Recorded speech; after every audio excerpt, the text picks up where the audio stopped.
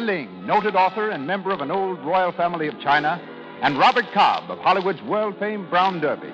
Our conductor, Louis Silvers. This presentation comes to you through the makers of Lux Toilet Soap, direct from the Lux Radio Theater on Hollywood Boulevard, in the hope that your pleasure in listening to Madame Butterfly equals their pleasure in bringing it to you. Welcome, everyone.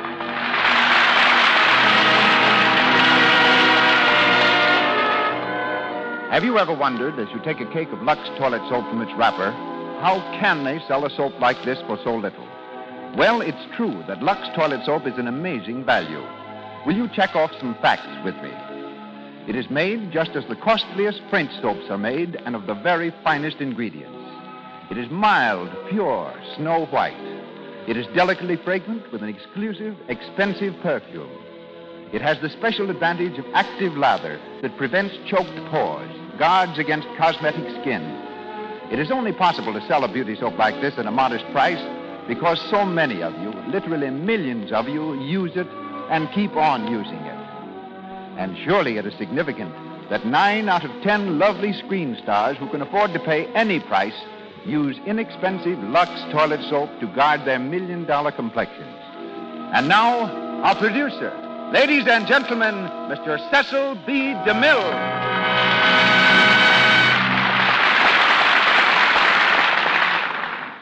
Greetings from Hollywood, ladies and gentlemen. With the vigilance of an eagle guarding its young, the late David Belasco cherished his reputation as a producer of nothing but successful plays.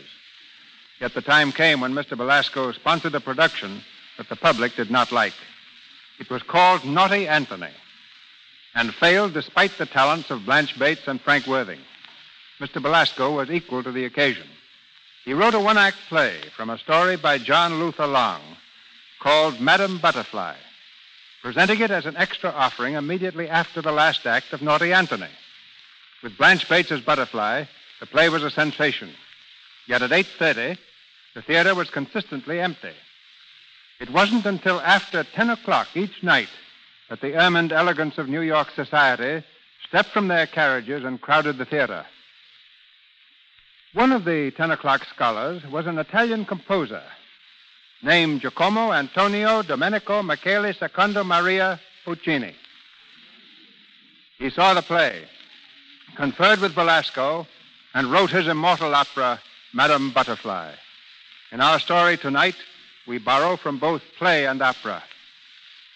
Since the opening of Columbia's new film, When You're in Love, Hollywood is hailing Grace Moore and Cary Grant as the most important team of the new year. Miss Moore has reached a fame in grand opera, motion pictures, radio, and on the concert stage that comes only to the truly great. In her first starring picture, One Night of Love, she sang the arias from Madame Butterfly, thereby introducing grand opera to talking pictures. We welcome her tonight as the little geisha girl, Cho Cho San. Our Lieutenant Pinkerton is Cary Grant. Born in England, Cary ran away from school when 13 to become an acrobat. A month passed before his father caught up with him. But three years later, Cary was back with his old troupe. He came to New York first as a comedian, later as a singer in operettas, thence to Hollywood, where 23 pictures have elevated him to well earned stardom. Pedro de Cordoba, with whom I acted 35 years ago in E.H. Sothern's company, will be heard as the Bonza. Marek Windheim fills the role of Goro, the same part he sang in the Metropolitan Opera House many times. The moment has come when footlights blaze forth. The musicians await the command of a raised baton, and the Lux Radio Theater presents Grace Moore and Cary Grant in Madame Butterfly with Pedro de Cordoba and Marek Windheim.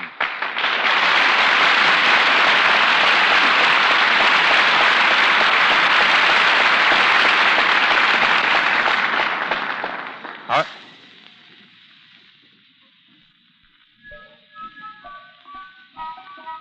our scene is the inner garden of a Japanese tea house in Nagasaki. At bamboo tables along the wall, wealthy Japanese merchants and their friends sit over steaming cups, conversing in gentle tones, applauding the performance of the geisha girls.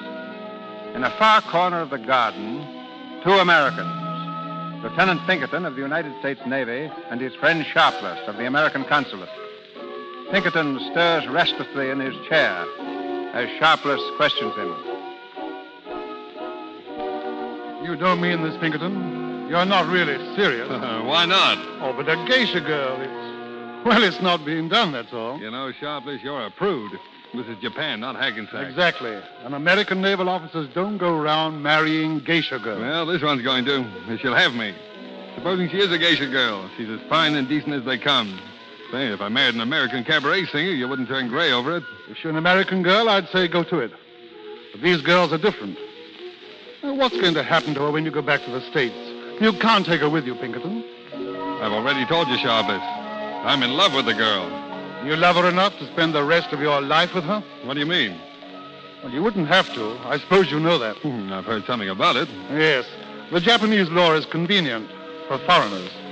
You can take a wife for 999 years, but you can annul the marriage any time you want merely by walking out on her. Now, wait a minute. If you're suggesting. I'm that- not suggesting anything. I'm stating facts. Well, it happens that I know the facts. It also happens that I love this girl. I'm going to marry her, regardless of what you think about it. Well, it's your life, Pinkerton. You can do what you want with it. Oh, forget it. Come on, Sharpless. Snap out of it. Which girl is it? She's here at this tea house. Her name's Chocho-san. The one they call Butterfly? Yes, you know her? Oh, I've seen her. She's a pretty little thing. So young. She's like a child sometimes. You know, I've never met a girl like her before. And I never will again. She's deep down inside of me, and I can't get her out. You see, I, uh, I've got it pretty bad. Lieutenant Pinkerton, Yes, Goro? Chocho-san says she waits your pleasure. Where do Lieutenant wish to sit with Chocho-san? Oh, in the outer garden by the fountain. Tell her I'll see you there in a few minutes. Chocho-san, be there. Thanks. You'll excuse me, Sharpless? Oh, Pinkerton, Uh huh. Yeah? there's nothing I can say? No, I'm afraid not. See you later, old man. All right.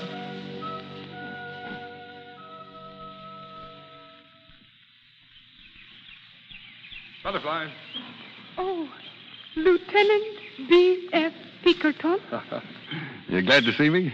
Always so glad to see you. You bring me something today. A present, Lieutenant B.F. Pinkerton? No, not today, Butterfly. Oh, it is no matter. Well, I'm sorry I forgot. You like me to bring things for you, don't you? Yes, but not for gift.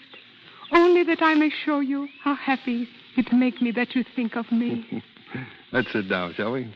we must not stay long.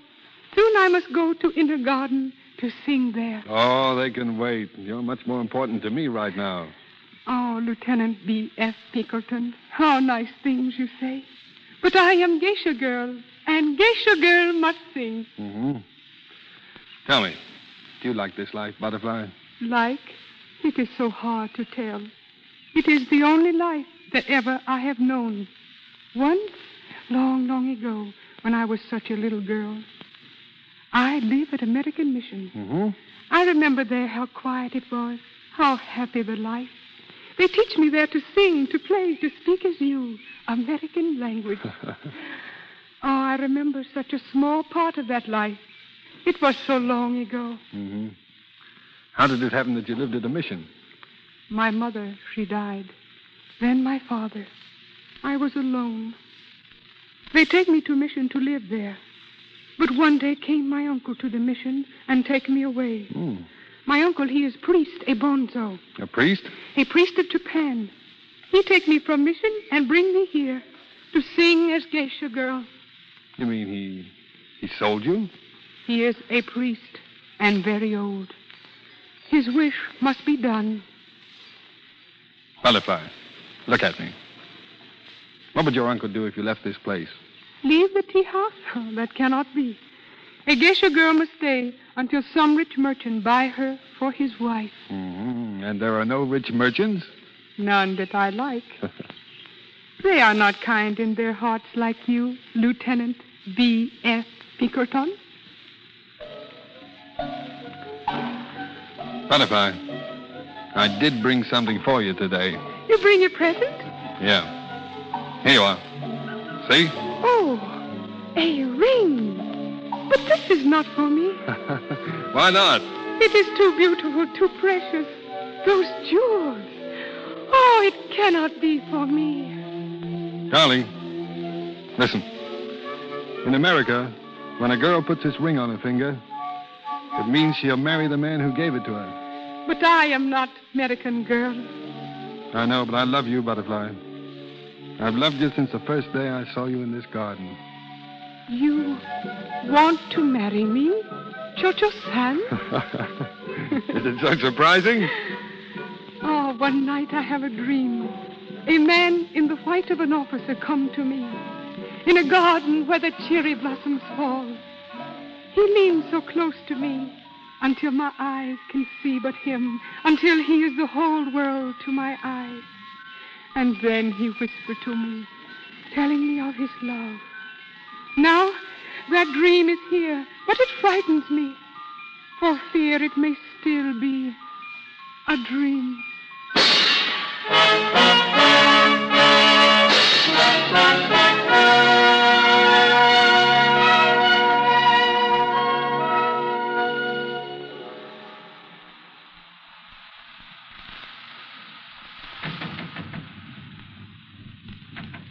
Suzuki. Lieutenant Pinkerton? Has, uh, has everyone gone? Wedding party all gone. Eat many cakes, drink much wine. well, they're welcome to it. Hey, Japanese girls have a lot of relatives, haven't they, Suzuki? when girl marry rich American, always many relatives to help feed. Suzuki outside. Call if you want. All right.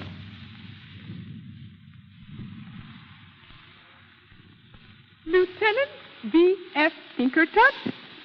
Come in, Butterfly. They have gone. Every single one. Ah, I have think they stay forever. Why, were you so anxious to be alone? I am your wife now. Come here, Butterfly. Let me look at you. Has anyone ever told you you were very, very pretty? Some. Before this, I have never believed it. But now I am happy to be pretty. For you. Oh, and you are, darling. You know what I do yesterday, my husband? I go to Christian Mission House. hmm For what? I have taken a new religion. What do you mean? Your religion. You shouldn't have done that, dear. You were not angry. Oh, you shouldn't have done it. It is my love that make me. In so many ways must I be worthy of you. Yes, I know, Butterfly, but your family, if they knew about it, your friends. They would hate me. I do not care. For you, I can forget my race, my people. If only you tell me that you love me. Madame Butterfly, Yes, Suzuki? we have forgot your bundle from the tea house. Where shall I put it? Oh, here, Suzuki. I will open it. Suzuki, you have closed screens? In every room. It rained very hard, Madame Butterfly. Oh, it is no matter. We are dry and warm in our new house. It is not good that it rain on the day of a marriage. It is not good. Well, well, well, there's a cheerful soul for you. Yeah, what have you got in that bundle, Butterfly? You wish, see? Some few things I have for many years. See? Hmm. What's that thing there? Looks like a small sword. That I hold most sacred. It was my father's. It is written here something, here on the sword. Yeah. To die with honor when one can no longer live with honor. What does that mean? My father was a soldier. He was defeated in a great battle. This sword was sent to him from the Mikado. And your father? He was obedient. You mean, you mean he killed himself? To die with honor when one can no longer live with honor. It is the unwritten law of Japan. Well, well who's the, who the deuce is that? Some of our guests returned. Surely not at this hour. Oh, Your Excellency. Where? Enter. These bandits. It is my uncle, the bonzo. What does he want? Chocho-san. Your Excellency. Good evening. A thousand pardons. But my business is not with you. Niece, come here. Welcome to our house, Uncle. You will have tea. Suzuki, bring tea. I want no tea. I've come to speak with you. To speak with you alone. Uncle, Wait a minute. If you've got anything to say to my wife, you can say it before me or not at all. Chocho-san, today in the morning, you go to the house of the Christian mission. That is so? Yes, Uncle. Uh, it is so. Why did you go there? Why? Uncle, to I. uh, swear an allegiance to the Christian God, to renounce the religion of your forebears, to bring disgrace upon your family before the Son of Heaven. No. This, I say, is true. I am American wife now. My belief is as my husband. You have renounced your true religion. For this, then, may the skies rain curses on your head. Be quiet. May your soul perish in everlasting torment. May your friends and family turn from you with loathing, and your children shrivel at their birth.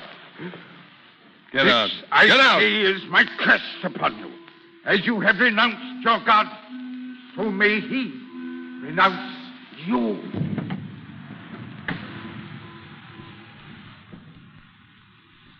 Butterfly. Butterfly. You. You hear what he say? Yes, dear. Try not to think about it. Come here, darling. Hold me close, please. So very close, Lieutenant B.F. Pinkerton. I am afraid.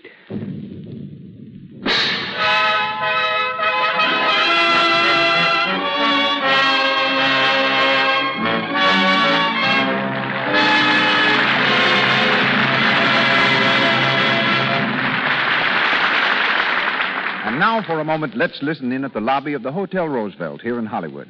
At this time of day, it's quieter than usual, but a handful of people have dropped in from a hard day at a nearby movie studio, from a shopping trip, from sightseeing. As usual, there's a celebrity or two. Look, Tom, isn't that Olivia de Havilland over there? Yes, it sure is. Well, Betty, now you've actually seen a real live screen star. What do you think of it? I think she's perfectly lovely. I adore the color of her hair and eyes, and her skin is gorgeous. After I've shown you one of the big studios and you see the lights they work under, Betty, you'll know why a screen star can't face the camera without absolutely flawless skin. Why, silly, I know that. For simply ages, I've been using the soap screen stars recommend for my own skin. Lux toilet soap. Betty's a smart girl. She guards against unattractive cosmetic skin, tiny blemishes, enlarged pores, dullness, by following a simple rule that will bring results for you. Here it is. Before you put on fresh makeup, always before you go to bed, use Lux toilet soap. Mr. DeMille carries on. We continue with Madame Butterfly, starring Grace Moore and Cary Grant. Almost a year has passed, and despite the curse of the Japanese pri- priest, Butterfly's life with the naval officer has been one of intense happiness. But now comes the long awaited summons. Lieutenant Pinkerton has been called back to America. In Sharpless' office at the consulate, the two Americans face each other. Sharpless is reading the naval dispatch order. And together with the destroyer president and the battleship Connecticut to leave the harbor at Nagasaki on the afternoon of April the 3rd at 5 o'clock and to set course for San Diego Naval Station. Further orders will be radioed en route. Well, I guess that's that. April 3rd. That, that's tomorrow, isn't it? Yes. Yes, I did what I could, Pinkerton. It wasn't very much use. They want you back there. What are you going to do about Butterfly? I, I don't know. This sort of hits me right between the eyes coming out of a clear sky like this. I can't think. I told you once before you couldn't take her with you. I know, I know. You knew you'd have to face this sometime, didn't you? Maybe. I didn't think much about the future. That makes it twice as hard to think about it now. You'll tell her, of course. Of course. When? Oh, tonight, I guess. I'll put it off as long as I can. I'll have to make her understand that I'm coming back. Are you? How do you know? I'll get back all right. Now, look here, Pinkerton. I'm going to talk to you like an uncle. If I tread on your toes, yell out. Well, Weren't you engaged once back in the States? no. To Catherine Forbes? I told you no. That was just a kid affair. We grew up together. Your families rather counted on your getting married, didn't they? Still count on it. what about it? It takes more than families to make a wedding. I was just thinking. If you wanted to marry Catherine, you could, you know. Thanks. And what happens to Butterfly? Oh, you know the law here. It's like a divorce. A month from now, she'll be free to do as she wants. Or she'll forget you, Pinkerton. Don't you believe it? She can't forget me any more than I can forget her. I wish you could. Oh, I know it sounds heartless and selfish, but it will be a lot better. She'll live the life of the kind of life she should live among her own people. Marry some wealthy merchant. A wealthy merchant. Do you think that's going to ease my conscience? Oh, why should you have a conscience? You've given her a year of happiness. She'd never have had this year if it hadn't been for you. And what about the years to come, the sad years? She wouldn't have those either. You can't convince me, Sharpless. It just won't do. No? Hmm. I'm afraid it may have to do.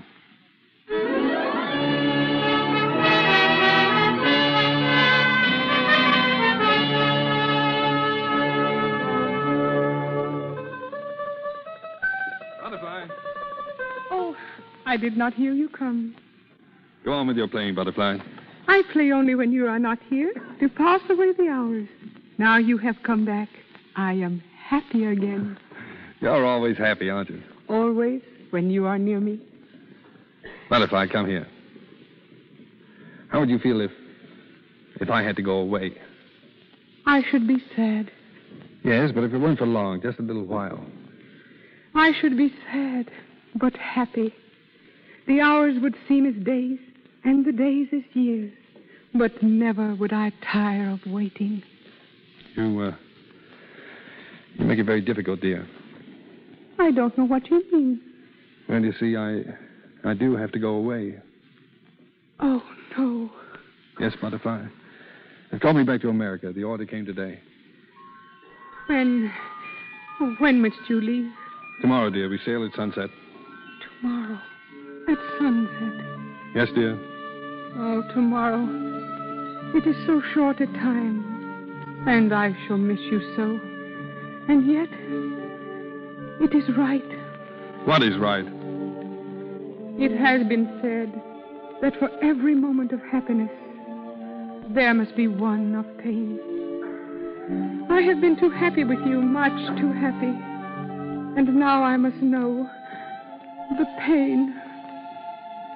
Oh, you mustn't feel that way, Butterfly. It, it may not be for long. How long? I, I don't know, dear. It is now the time when the robins nest. Do you think that when they nest again, you will come back to me? Yes, Butterfly. When the robins nest again. Oh, it is such a very long time. Try not to think about it, dear. We still have tonight. Yes, tonight. And I shall remember everything you say and everything you do. And I shall store each little thought far back in my mind so that when you are gone, I may take them out one by one and hold them to my heart.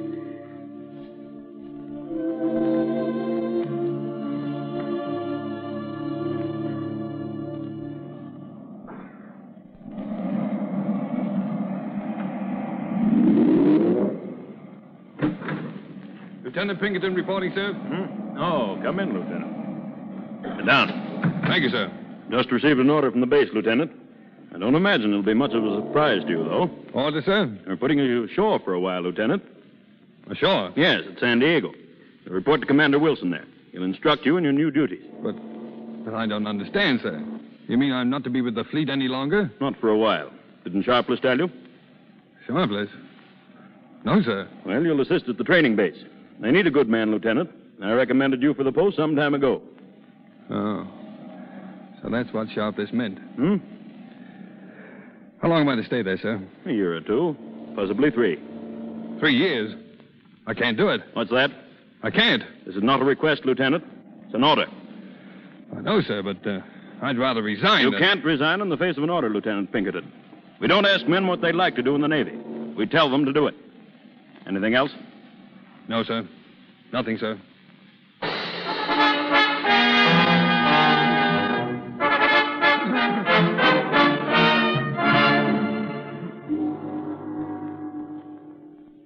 Now, wait a moment, Goro. Now, go back to the beginning and tell me the whole story. Slowly now. Very good, Excellency. My name, Goro. I am what you say, marriage broker. Two days past, I go to see Madame Butterfly. Yes? I tell her rich men, Yamadori, wish to marry her. She say no. She say she's already married to Lieutenant Pinkerton. She say she's married to him two years. cannot marry Yamadori. I say I go to His Excellency Mr. Sharpless and ask him. Does she want to marry this Yamadori? Yamadori, very rich merchant. Very good much. Oh, but does she want to marry him? Uh, she will marry. Goro get big commission. Oh. Well, then tell her she's free to do as she wants. She can marry Yamadori tomorrow. Very good, Excellency. Goro tell her. She be very pleased. But, uh, Lieutenant Pinkerton, uh, you will tell him, Excellency, that Madame Butterfly is to marry? Yes, I'll tell Pinkerton. He's in America now, but I'll write and tell him today.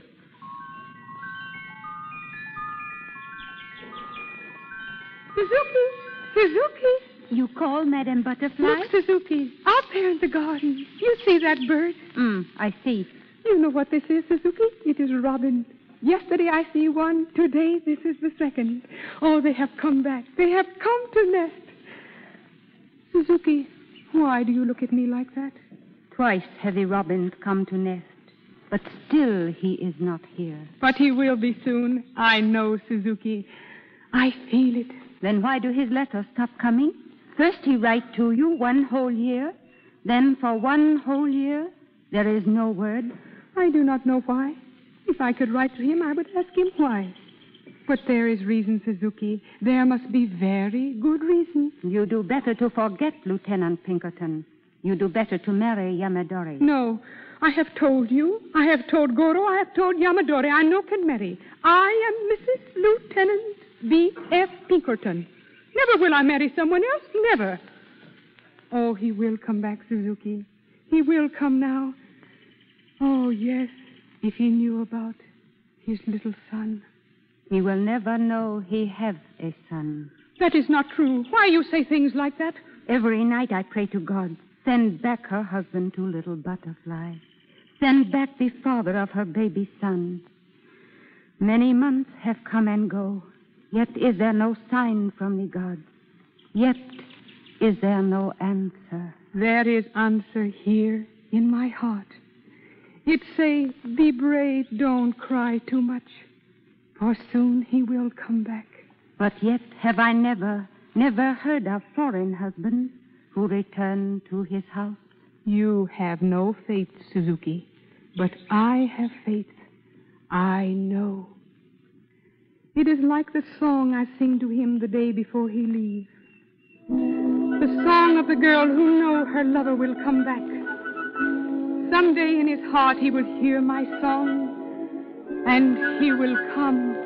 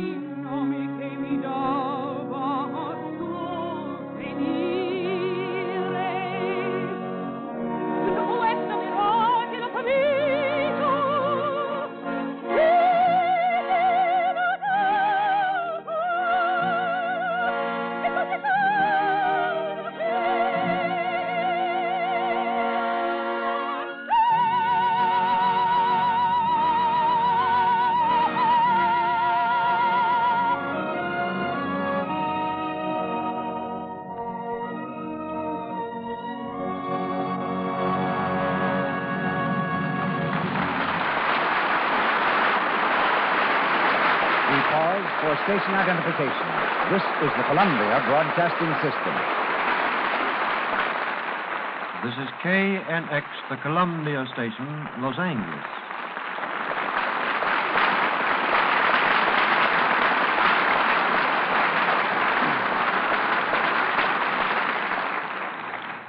Grace Moore, Cary Grant, and our all star cast return shortly in Madame Butterfly. The scene of our play, Japan, was the home for several years of tonight's royal guest, the Princess Der Ling, member of the imperial line of Manchus, who ruled China from the middle of the 17th century to 1912. Daughter of the late Lord Yu Keng, eminent Chinese Minister of Foreign Affairs and ambassador to many European nations, Princess Der Ling, now a resident of California, is a noted lecturer and author of many books on the Orient. Ladies and gentlemen, Princess Der Ling. Thank you, Mr. DeMille. Listening to tonight's play brings back memories of a childhood spent in Japan when my father was ambassador in Tokyo. It was there that my tutor taught me the same dances that Madame Butterfly would dance as a geisha girl. There also did I learn the Japanese art of arranging flowers. Each year, blossoms become an occasion for imperial festivities in Tokyo. My meeting with the Emperor and Empress of Japan, parents of the present ruler, took place at the Cherry Blossom Garden Party. I was greatly impressed by the loveliness of the Japanese women. What beauty care they use, I frankly cannot recall. But I do remember well that the Empress Dowager of China, the last of the Manchu rulers, was exceedingly particular about her personal appearance. Are you going to tell us that Lux soap penetrated even to the Forbidden City in Peking? No, the Empress lived in the days before Lux toilet soap. But I use Lux toilet soap, Mr. DeMille, and I am convinced there is nothing better. I was about to enroll in Vassar College when the Empress summoned me to the palace as lady in waiting. What are the duties of a lady in waiting? I had charge of her jewel room, her blue diamond crown, her pearl cape made of 3,500 pearls as large as canary eggs were almost as nothing in that room of fabulous wealth. But the real task of a lady in waiting was to entertain Her Majesty. And what gave her the most pleasure? Reading, particularly The Taming of the Shrew, Romeo and Juliet were great favorites. There were those who say the old empress had no heart. But when I finished Romeo and Juliet, she looked at me for a moment and quietly said, It is quite true. Without love, there is no reason for life. With the Empress, the sun set on another line of royalty. Since those days, I have lived throughout the world, and I assure you all, there is no other country where being alive can mean so much as in my adopted land, the United States of America. Thank you. Thank you, Princess Der Ling. Once more, Madam Butterfly, starring Grace Moore and Cary Grant. Another year has gone by, but Butterfly's faith is still unshaken. With the passing of each day, she's happier, secure in her belief that every hour brings her husband closer. Meanwhile, on the other side of the world, the American naval officer has been trying to forget his Japanese wife, thinking that she's married the wealthy merchant. He's received new sailing orders, a trip to the Orient, to Nagasaki. It's the night before his departure. An officer's dance is in progress on board his ship. Pinkerton stands at the rail, gazing thoughtfully across the bay. Hello there. Huh? Oh, hello, Catherine. I've been looking all over for you. What are you doing? Hiding? no. No, I just came out here to think. About me? Hmm? Oh, sure. oh, look out there. It's beautiful, isn't it? And tomorrow you'll be sailing out across it into the sun. Yes. I'll bet I beat you to Japan. you probably will. We'll be stalling around out there for a week or so, battle maneuvers. Oh, I'm so glad I'm going. I had an awful time talking Dad into it. He kept yelling that he couldn't get away. Did you get your tickets? uh huh. We're sailing day after tomorrow on the Empress. I'll be a native by the time you get there. Would you like me in a Japanese kimono with a comb in my hair? sure, I would. You know, you know, I never thought I'd be going back again. Why not? Oh, I don't know. I had an idea I'd be on shore for the rest of my life. It, it seems funny now.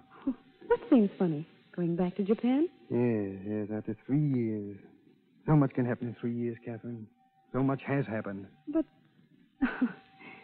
I don't understand you.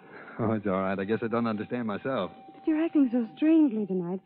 There's nothing wrong, is there? Nothing you want to tell me? No, no, it's all right. Let's forget it. Oh, wait. It it has nothing to do with me, has it? The way you feel about me. What makes you ask that? Oh, I don't know. It's just a feeling I have sometimes. You've known me for so long, and sometimes when you hold me in your arms, there's such a strange look in your eyes, as if you hardly knew I was there. If you were thinking of someone else. Catherine, I. That isn't true, is it? You do love me. Really love me. Of course, Catherine. Oh, and I love you so much. Let's be married in Japan, shall we?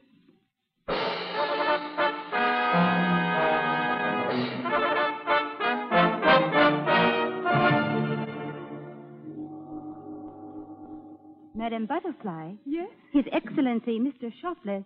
He is here. Oh, come in. Enter, Your Excellency. Good afternoon. I am so glad you come. You, your presence, light my house. Thank you. Why did you not come before? Well, I've been very busy. How have you been? Oh, very nice. You've been happy? Oh, yes. Butterfly, I heard some time ago that you were to be married again to Yamadori.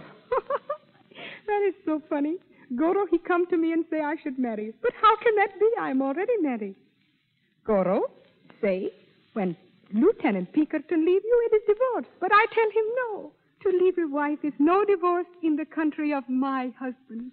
But if uh, Goro was right, Butterfly. Goro is not right. I know. Hmm. Why do you say that? Well, because I I've had news of Pinkerton. News? How is he? Is he coming back? What does he say? Butterfly, I I don't know how to tell you this. But if you can still marry Yamadori, I advise you to accept his offer. What? You say I should be Yamadori's wife? Yes, Butterfly. You say that? You, American consul? When you know that me, I am already married? Ah, but Yamadori was right. Your marriage was under the Japanese law. It's not binding. You mean I am not Lieutenant B.F. Pinkerton's wife? Yes. No, it cannot be. Love, do not forget. And when he hear about his son, What's that? You do not know. His father do not know. His son? You have a son? Yes, you see? That is love, Your Excellency. You write him, please, for me, will you? You tell him of his baby. Oh, such a nice baby. With just his face, the same hair, the same blue eyes. He will come back then. He must come back then. You hear that? Listen. Madame Butterfly. Yes? Madame Butterfly. Yes. The boats, the four American boats. They sail into the harbor. The American boat. Your Excellency, the American boat. He is on them. Oh, tell me. Yes, Butterfly. Are you here, Suzuki? Lieutenant B.F. Pinkerton is come back. Quick, Suzuki, my best dress. Best dress. Oh, Your Excellency, your tea I have forgot. Oh, it's all right. I can't stay anyway. I am so excited. You will see him at the boat. Yes, I may. Then tell him, please, that I am waiting. Ask him, please, to hurry. I'll tell him. Goodbye, Butterfly. Goodbye, Your Excellency. Suzuki. Here is the best dress. Oh, Suzuki, we must hurry. His room, it must be fixed. His slippers, his chair. That I will do. And me. Oh, today I must be pretty, Suzuki, with my best dress and poppies in my hair, like when I was bride. Rest is the best beauty. He not come yet. You sleep. Sleep? How can I sleep? Oh, no, Suzuki. We will wait for him. I in my best dress, and our son in his finest suit. There we shall sit by the window as we have so often. And soon he will be here. Soon, soon.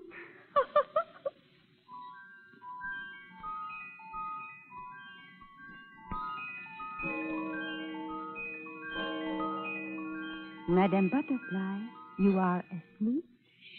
You must not wake the baby. All day have you been sitting by the window, and still he is not here. It is very late. He will come. It must be that he cannot go from the boat. Sailors have rules, Suzuki. Even a wife counts nothing. You must not cry, my son. Soon your father will be coming. It is not good that he should see you crying. Go to sleep. Go to sleep, my son.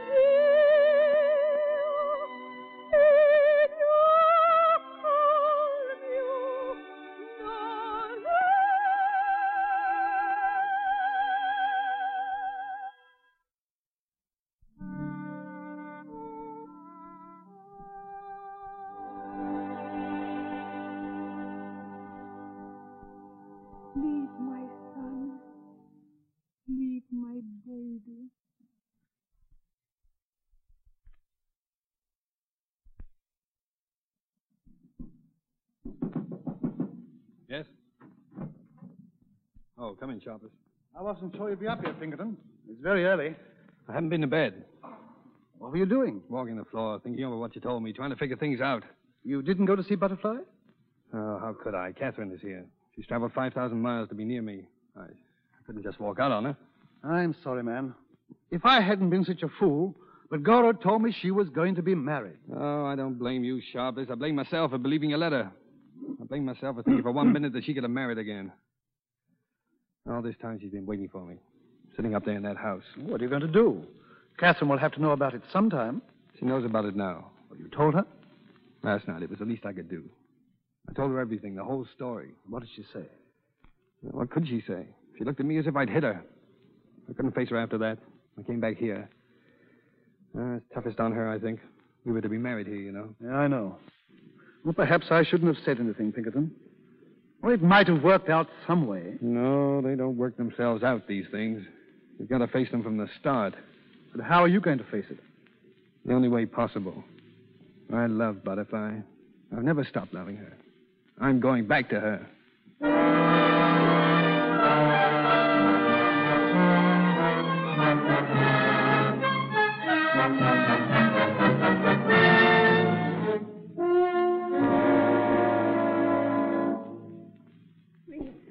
Got to see her. Tell her I've got to. All night she has been sitting up. She is tired. Oh, please, you don't understand. Suzuki! Suzuki, who is there? Oh. This lady has come. She wants to see you. Me? Are you Madam Butterfly? Yes. What is it, please? You. You don't know me. My name is Catherine Forbes. It's very important, or I wouldn't have come at this hour. It, it's about Lieutenant Pinkerton. Lieutenant Pinkerton? I have waited for him all night. You know where he is? Yes, I do. Then why doesn't he come to me? Why? Because he thought that you were married again. Because he thought you'd forgotten him. Forgot him? Oh, no. He couldn't have think that. But he did. I know he did. How you know? Because he was engaged to me. Engaged?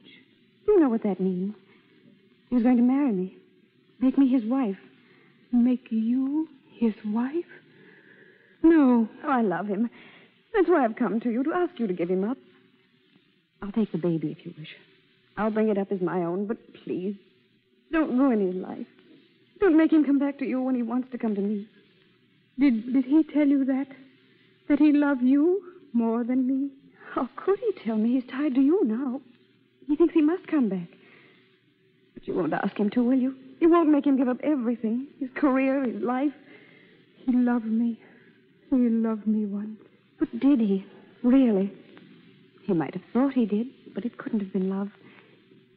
No, he looked on you as a child, a plaything. No, no plaything. I am Mrs. Lieutenant B. F. Pinkerton. If I am not that, then I am nothing. But he loves me. Now, please try to understand. Try to understand how much better it will be for him. And try to help him. If you love him, you will help him.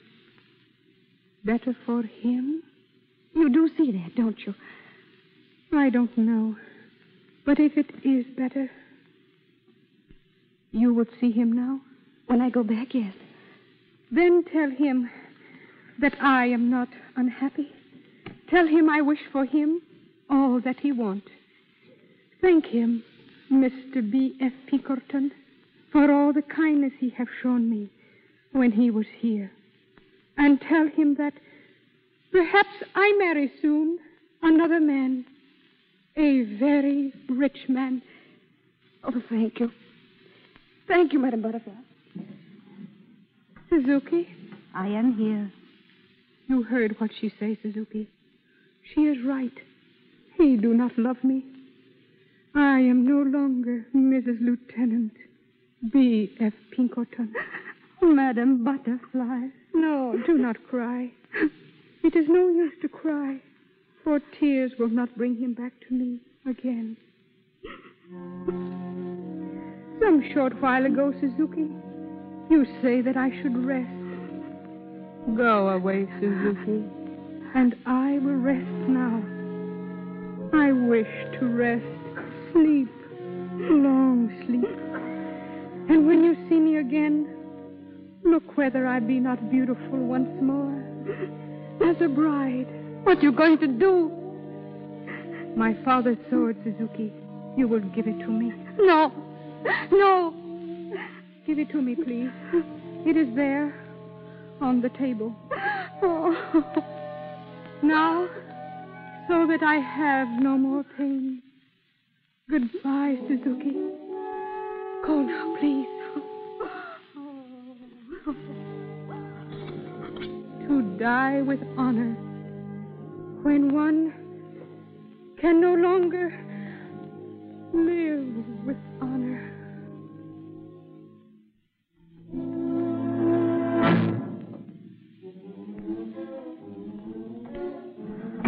Butterfly! Butterfly! Where are you? Butterfly! What have you done? Butterfly, look at me. I've come back to you, dear. It is too late, my darling. Go back to her. She. she loves you. Oh, darling, darling, why did you do it? Why, Butterfly, why? Do not be unhappy for me. It is better this way. Too bad those robins do not nest again. Darling. Butterfly. Butterfly!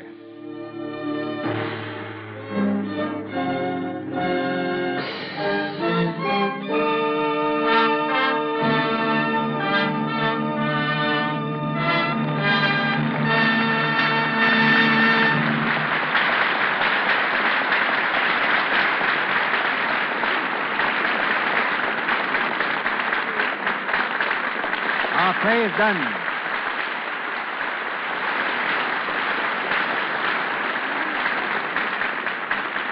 As Grace Moore and Cary Grant return in a moment to the microphone. Around the corner from the Lux Radio Theater is one of the most widely known restaurants in the world, the Brown Derby. Visitors to Hollywood make it one of their first stops, for it is there that the screen's celebrated stars and executives may be found at any hour, from breakfast through midnight supper time. Tradition has made the Derby a meeting as well as an eating place. Between its walls, many a contract has been signed, and many other writers and composers famous for works born over a cup of Derby coffee. Robert Cobb, president of the Brown Derby Corporation and husband of Paramount star Gail Patrick, is here tonight with a word about Hollywood's table mannerisms. Ladies and gentlemen, Robert Cobb. Thank you very much, Mr. DeMille. But all this finds me a little bit uneasy, ladies and gentlemen, because you see, the landlord of the Brown Derby happens to be Mr. C.B. DeMille. That's all right, Bob. Just relax. The rent's been paid, and there's nothing more I can demand except one of your famous Derby salads for tomorrow's lunch. I might suggest, though, that you tell our listeners how the Derby originated. The Derby was founded by the late Herbert K. Somborn. When his friends tried to discourage him, Mr. Somborn always replied, I could build the kind of a place I have in mind inside of a Brown Derby and still make it successful. Now, we've told our audience from time to time what the stars wear, how they spend their spare time, what they do culturally, how they. Keep their complexions? Mm, yes, I seem to have a vague recollection of touching lightly on that subject before. Then, before you go on, I might say that you, with Lux Toilet Soap, and I, with a bill of fare, aiming at the same thing to deliver the very best. The lounge rooms of the Derbies are supplied with Lux soap exclusively for the convenience of the stars. And incidentally, we also use it in our home. Now, let's see. Where were we? I, I just stopped you from serving a Lux soap sandwich. So, uh, I suggest you tell us something of the stars' appetites. Well, they vary a great deal. I found the dish of Wallace Beery, for instance, to be nothing more elegant than corned beef hash, while uh, Gary Cooper, Cooper is strictly a beef stew man. Marlene Dietrich's pet dish is lobster thermidor, and Clark Gable and Carole Lombard go for T-bone steaks. But Joan Bennett likes dainty dishes. Ann Sothern keeps in trim by eating non-fattening vegetables. But when George Raft waltzes in, the chef immediately puts on another hamburger deluxe. Stu Erwin and Eddie Sutherland, the director, have a yen for Chinese food, but Joey Brown has no favorites. he likes food and plenty of it. My wife, Gail Patrick, is also a very good customer of the Brown Derby. As a matter of fact, she thinks the kitchen in our home is a place to store trunks. By the way, since I promised to take Gail out to dinner tonight, I'd better say thanks and goodbye, Mr. Uh, where, where are you taking her, Bob? Oh, we thought we might try something different for a change. Probably go to the Derby. I hope you've made a reservation.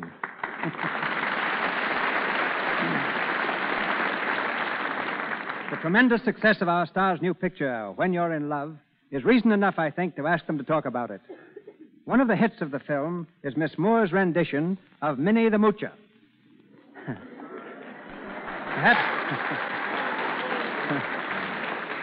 Perhaps she'll tell us what it's like for an opera star to go Harlem. Ladies and gentlemen, Grace Moore and Cary Grant. Thank you, Mr. DeMille. Oddly enough, I found Minnie the Moocher a delightful but very, very difficult aria. I must confess that when it came time for me to sing it, I suffered the first attack I've ever had of real stage fright. Mm-hmm. When I was finished, I was certainly ready for the showers. Oh, yeah. We had them, too, Mr. DeMille. For three solid days, we were drenched to the skin making that rain scene in the woods. And neither Grace's double nor mine, Mel Merrihew, got a drop on them. We really got it all. That was the longest shower bath I've ever taken. The only thing lacking was a cake of Lux toilet soap.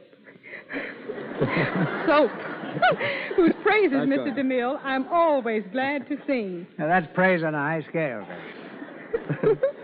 Last spring on my Scandinavian tour, I found Lux soap wherever I went. there was even a big poster with my picture advertising it in every hotel lobby in the towns I sang in. But in spite of the rain in our picture, we had a splendid time, thanks to another great director, Robert Riskin. Check. You know, Grace, you know, Grace, like Mr. Riskin, is becoming quite a writer. In between scenes, you go to her dressing room and edit her new book. That's news. What's it about? The Romance of Food. It's a book of recipes. It tells all about the delicious foods I've discovered all over this country and Europe, and I think I'll go to the Derby tonight for dinner. There's only one thing more, Miss Moore, to make it a perfect evening for us, and that's another song from you. Oh, uh, what would you like to have me sing, Mr. DeMille? Whatever you'd like to sing, Miss Moore. Well, tonight's program sort of brings back old memories, fond memories. So just for old time's sake, I think I'll sing Ciribiribin.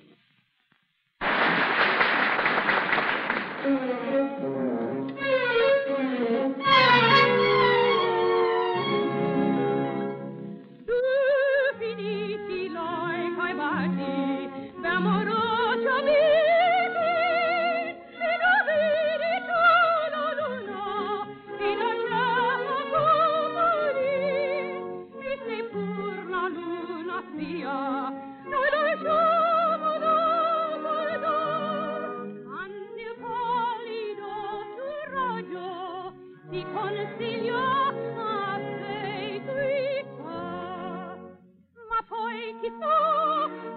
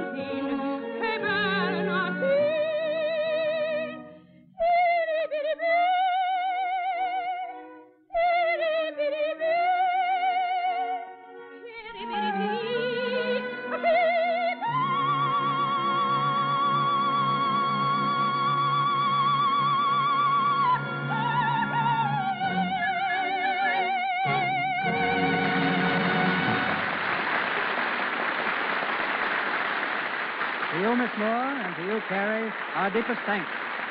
We look forward to having you both with us again in the near future.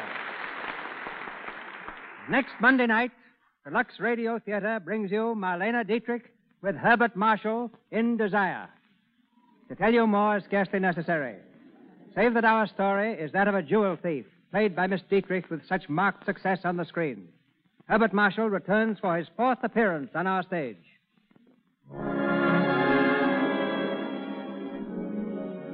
Our sponsors, the makers of Lux Toilet Soap, join me in inviting you to be with us again next Monday night when the Lux Radio Theater presents Marlene Dietrich with Herbert Marshall in Desire. This is Cecil B. DeMille saying good night to you from Hollywood. Your announcer has been Melville Ruick. This is the Columbia Broadcasting System.